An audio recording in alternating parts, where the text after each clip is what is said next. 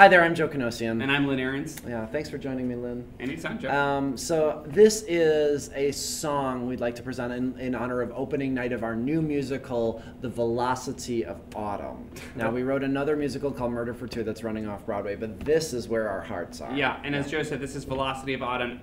This is actually a funny story. This was Joe's idea for a show, and when he first pitched it to me, I swear, I thought he said the Velociraptors of Autumn.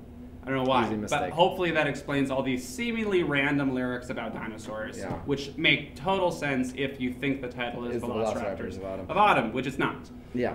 Um, so here's one of the opening uh, moments in the show. Um, it's called Pterodactyl About Town. I'm just a pterodactyl, and I'm walking through the street, and I'm looking at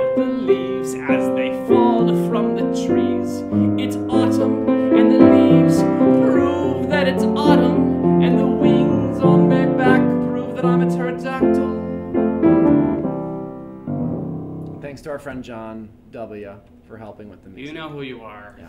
Thanks. We love you. Check it out. Tom on Murder for Two.